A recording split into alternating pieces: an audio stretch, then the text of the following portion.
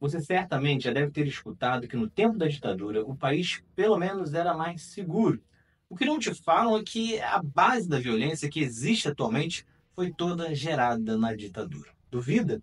Então confere este episódio até o final. Antes de tudo, é importante desfazer esse mito de que ditadura trouxe segurança. Primeiro, porque a base de comparação não deve ser o que era na ditadura e o que existe hoje, e sim como era o Brasil antes do golpe militar em questão de violência, como ficou durante e como ficou depois. Afinal, se o país até os anos 60 já era mais seguro que hoje, então não foi a ditadura em 64 que trouxe a segurança.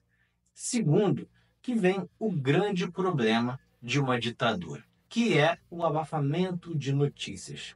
Desta forma, casos de assaltos, homicídios eram rapidamente escondidos por parte do governo militar para dar exatamente esta percepção de que tudo estava funcionando bem. Mas na prática não era bem assim. Entre 1920 e 1960, São Paulo, por exemplo, tinha uma taxa de homicídios de apenas 5 mortes a cada 100 mil habitantes.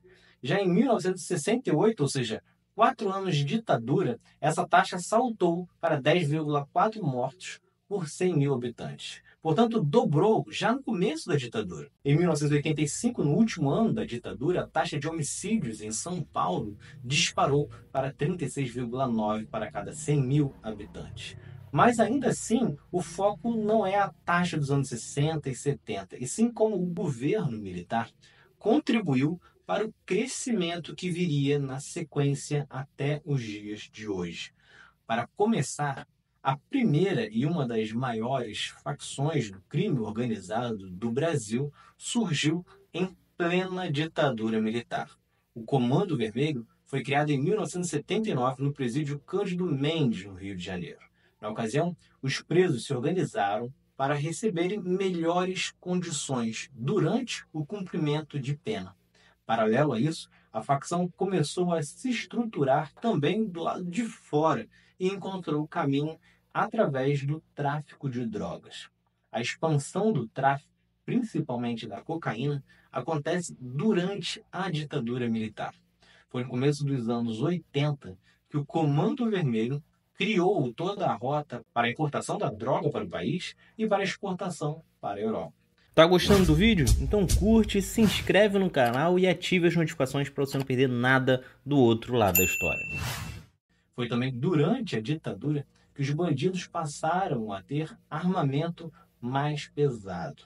Até os anos 60, as armas em poder dos bandidos eram apenas de pequeno calibre. Foi nesta virada dos anos 70 para 80 que começaram a aparecer bandidos armados com fuzis. Também, durante o regime militar, que armamentos de uso exclusivo de forças armadas começaram a sumir dos quartéis e parar nas mãos de traficantes. Além disso, ainda no final da ditadura, que o tráfico adotou o modelo de domínio territorial no Rio, algo que depois foi expandido para outros estados. Só que as consequências não param por aí. Foi no período da ditadura que surgiram os primeiros grupos de extermínio, pessoas que prometiam limpar a bandidagem da região. Segundo diversos pesquisadores, como Bruno Paes, do Núcleo de Estudos da Violência da USP, locais que ocorriam extermínio ficavam mais perigosos. O homicídio era respondido com outro, e a resolução dos conflitos com trocas de tiro passavam a ser cada vez mais comuns nessas áreas, algo que se espalhava pelas regiões próximas. Ou seja, naturalizou-se no Brasil a troca de tiro que até antes do golpe militar não ocorria no Brasil.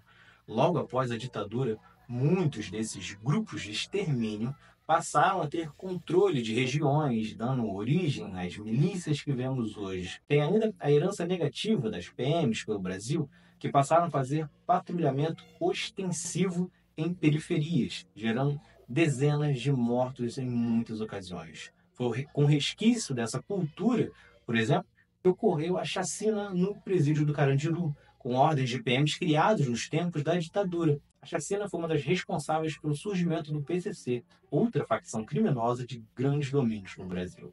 E para não falar de golpismo, a ditadura também produziu uma ala militar que flerta até os dias de hoje com o golpismo, como foi visto em dezembro de 2022. Generais como Braga Neto, Vilas Boas e Augusto Heleno, que têm seus nomes ligados ao planejamento do golpe em 2022, tiveram formação durante a ditadura militar.